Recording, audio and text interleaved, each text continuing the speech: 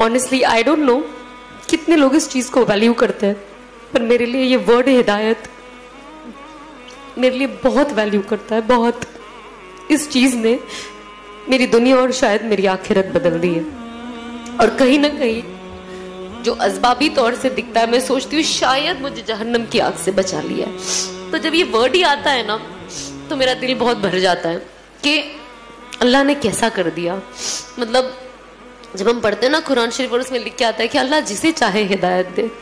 तो जब मैं एंड आती ना एक और, कि I was lost and he found me and he guided me मैं गुमराह थी और उन्होंने मुझे सही रास्ता दिखाया। तो मैं कुरान शरीफ अभी भी, जब भी पढ़ती हूँ और जब वो वो आयत आती है और मैं पढ़ती हूँ ना, मेरे आँख से आँसू ऐसे टप टप गिरने लग जाते हैं और मुझे रुकना पड़ता है कुछ वक्त, क्योंकि मैं खुद अभी तक ये डाइजेस्ट नहीं कर पाई हूँ कि अल्लाह ने ज़िंदगी मेरी कैसे बदल दी। बस अल्लाह इस्तेकामत दे और आखिरी दम तक हिदायत पे रखे और हिदायत पे मौत दे।